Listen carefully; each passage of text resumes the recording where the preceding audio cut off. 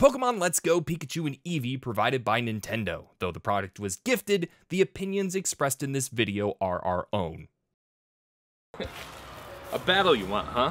Well, prepare to fight my strongest Pokemon. I choose you, AJ! I'm not doing this.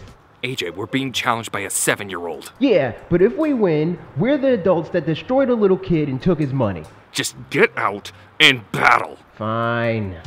I choose you, AJ! I hate you, Dan.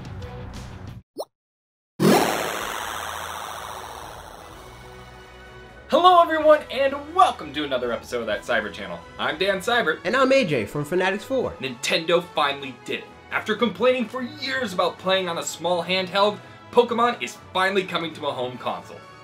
If you ignore these. Today we're talking about Pokemon Let's Go, the HD Pokemon game that I've always wanted to kill time before Generation 8 hits. While most of us have our eyes set on Pokemon 2019, Pokemon Let's Go gives us a taste of what we might see in the future. But can Pokemon Let's Go stand amongst the other main series games? Well, let's slap it in and find out. Though, I mean, we got it digitally, so, you know, um, consider it slapped. Oh my god, we're only at the menu and I'm loving all of this already! It's pretty damn quick to see just how great the game looks finally being in full HD. Well, unless you're in handheld mode, then you're at 720p. Still better than 240p, people. To make sure we covered all of our bases, AJ played the Pikachu edition of the game and I played the Eevee version, though my personal save is on Pikachu as well. Pikachu's the best, fight me. Our story begins with an Eevee jumping out of our screen. That's a way to start. Immediately destroy the fabric of reality. Who needs world building when you can just immediately throw out the rules right away? This continues the theme we started to see with Pokemon Go, breaking down the barriers between the game and the player. But it doesn't seem to end there. After Professor Oak's famous World of Pokemon speech, we finally get a look at our character and he seems confused, which makes me confused. So we're all just confused. Your first interactions seem to hint that you, the player, have actually been transported into the world of Pokemon, which, you know, is the dream. Despite this weird meta beginning, the story begins to fall into a retelling of Pokemon Yellow. Get your starter, catch the Pokemon, defeat Team Rocket, and become a damn champion! It's the same story. Um, not really? What? Yes, it is. I got a rival, I fight in the same gym battles, I even obtain the Helix God! That doesn't mean it's a straight retelling. The story actually seems to take place between Gen 1 and Gen 2, as you'll run into Blue, the Gen 1 rival, who has already completed his Pokemon journey. Okay, fair.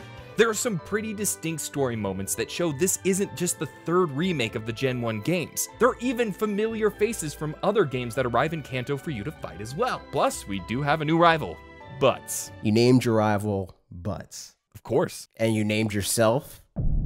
Only the greatest hunter from Yharnam, the conqueror of the wastelands of the Commonwealth, the hero of Tumblecube Island. Peter Stroganoff. Your channel has a stupid history. A stupidly rich history? Yes, it does. I meant what I said. You're a butts.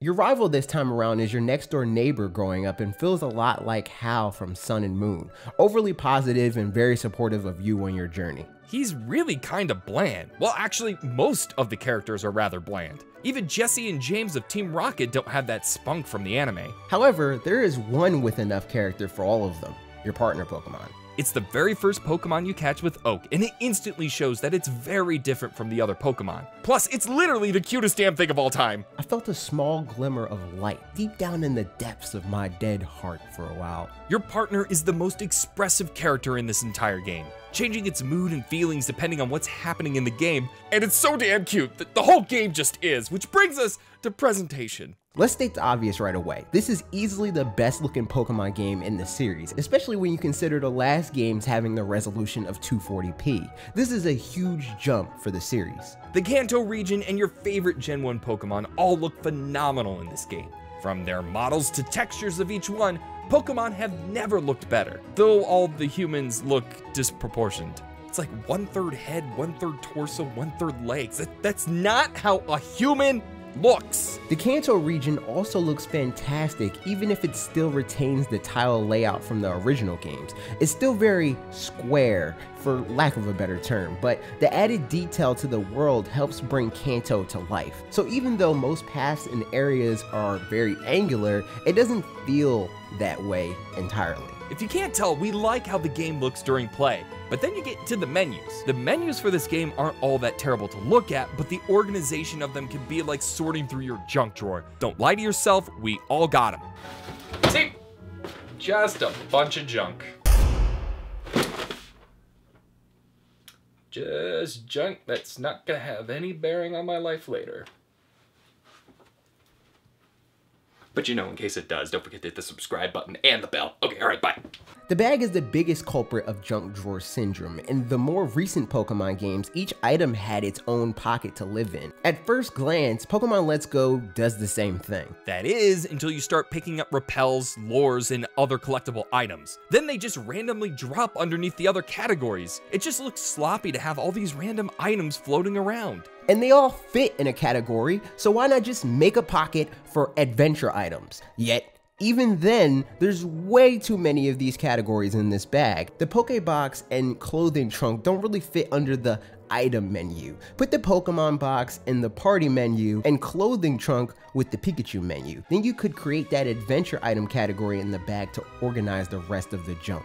You never want to be the YouTuber complaining about menus, but it's important here. You spend a lot of time going through the menus to sort through everything. Just little organization never killed anyone. That being said, there's one more thing to talk about in presentation, the music, and it is good. Most of the songs in the game are orchestrated versions of the Gen 1 music. It sounds great and adds a lot of depth to the original tracks. Personal favorite is what they did with the Vermilion City track. There's just something so satisfying about hearing the guitar plucking along with the rest of the orchestra. It makes me feel like I'm at the beach.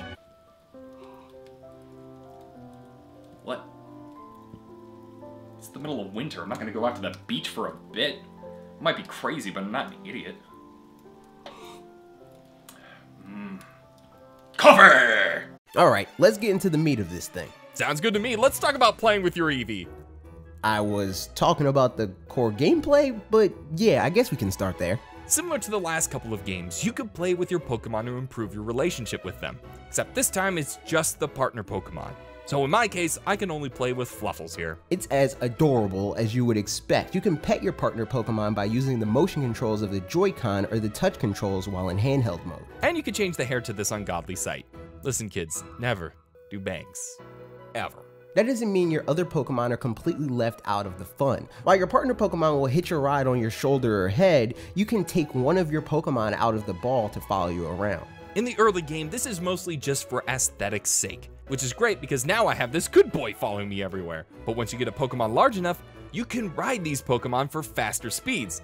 So now I can ride this big boy. Because of this, the bike has been cut from the game, which, to be totally fair, riding a bike is lamer than riding a giant Onix around. However, if you have played Sun and Moon, this change was kinda to be expected with ride Pokemon being introduced in those games. Of course, you can't hang out with Pokemon unless you catch them, which leads us to the game's encounters. Trainer encounters still work the same way as the other games. You'll go head to head with another trainer, battling it out until someone has no more Pokemon left to battle with.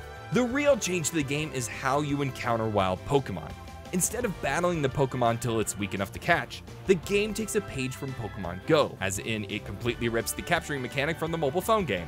You'll either need to aim with handheld mode, or you'll use the Joy-Con's motion controls to throw the Pokeballs. Now the motion controls work well for the most part, but there are occasions when the Pokeball just goes on its own journey. This was one of the controversial changes when this game was announced. Even now, players seem pretty split on how they feel about it. Our personal feeling on it I think we both like the change. Sure, it means you're getting to battle less, but it makes the process of wild Pokemon encounters feel smoother and faster. In the past, wild Pokemon battles would start out fun, but quickly become an annoying chore. This way feels more streamlined and resolves a lot faster than wild Pokemon battles. If you don't want to deal with wild Pokemon though, good news! You can now see the Pokemon in the overworld. This is a huge change that helps make surfing in the caves feel much less like a chore. Where it was once just one encounter after another, you could now run through Mount Moon without encountering a single Pokemon if you wanted, even without repels. It greatly helps with the pacing of the game. That's just the first quality of life change to the game.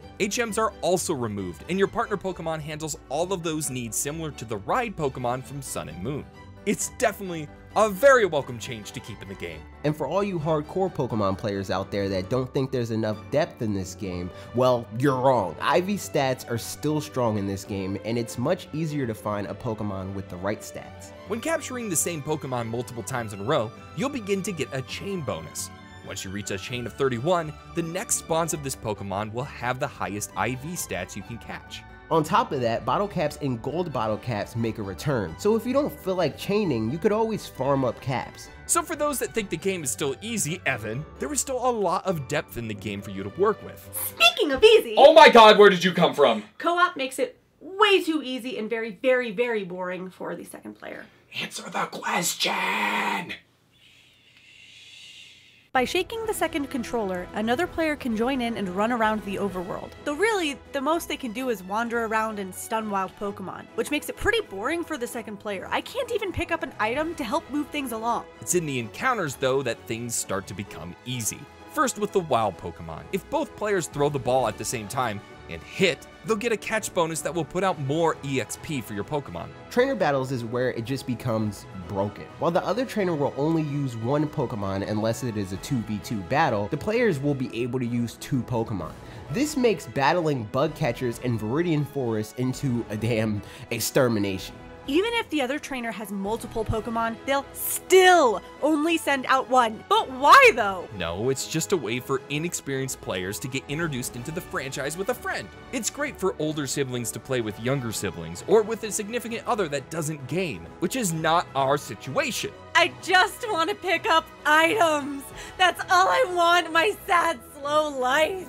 Okay, I'm, I'm just gonna get her out of here. It's right there, right next to me. Is she gonna be okay? I gave her a minute to cuddle. We have about five minutes. Multiplayer isn't the only way the game gets easier. If you want to shell out the extra $50, you can grab the Pokeball Plus accessory. Cybert, are you talking about the Pokeball Plus? Oh my god, who else wants to interrupt? We just were, Bob, but Dan's doing a terrible job. What? Yep, just like I thought. Don't worry, I got it. But how was I doing a terrible The first thing I noticed when I picked this thing up was the build quality. This thing does not feel cheap, which is good because $50 is a lot after all. It also has a surprising amount of functionality. Aside from being a full-fledged controller for Pokemon Let's Go, it also connects to the Pokemon Go app on your phone and acts just like the Pokemon Go Plus wristband does. In Pokemon Let's Go, you can take one of your Pokemon outside of the game, and the Pokeball Plus will track all of your steps so that when you reconnect the Pokeball Plus to the game, it will reward you with a massive amount of XP. So if you're ever to leave the house, it would behoove you to take a Pokemon from your party with you. Oh yeah, and this thing's the only way you can get a Mew, but whatever. Anyway, if you want to hear a whole lot more about the Pokeball Plus and all of its different functionalities, you should go on over to my channel and check out my video where I go into way more detail. Oh look, my Magikarp found a candy. Thanks, Bob. That was much better than what Dan would have done. I didn't even. Whatever! With the Pokeball Plus, this game is trying to do something similar to what Pokemon Go started, breaking down the barrier between the Poke world and our own reality. Being able to take your Pokemon out for a stroll and interact with it, as basic as the interaction is, continues to blur the lines between the game and real life. Sure, the Pokeball Plus is just a glorified controller, but that is your Pikachu or Eevee in there. It feels like we're one freak genetic experiment away from creating our first Pikachu. The end goal, we're clearly working towards. But seriously, it's just a way to connect the player to the world. It's about building that connection with your Pokemon that engages the player and keeps them playing, and hell, it's working with a lot of players. Overall, though, despite the massive changes to the gameplay, Pokemon Let's Go is not the watered down version we thought it was going to be. Pokemon Let's Go was a welcome surprise to my Switch library. I knew I was going to enjoy the game, I just didn't know how much. It's simplified in a lot of the right ways, yet still has the depth players are looking for. Sure, it's not perfect, but the good greatly outweighs any gripes that I have with the game. So, what are our final thoughts on the game? Well, whether or not you're a fan of the franchise, this is a game for every Switch owner. It's simple to pick up, but complex enough to keep players engaged for the long haul. All right, AJ, back in the Pokeball. I'm, I'm not going back in there. It's dark in there, Dan. Too bad. Now, you too, dear audience, must go back into the Pokeball. Back home. Thank you everyone for watching, and a special thanks to AJ from FanatixFour, Bob from the Wulff Den, and Alyssa Be Crazy for helping me with this video. You can check out all their channels here in the end card or in the description down below. If you haven't already, make sure to follow me on Twitch where we do streams every week. Link again in the description. Hit that subscribe button, ring the bell, like the video, all that good YouTube stuff, and until next time, Cybert out.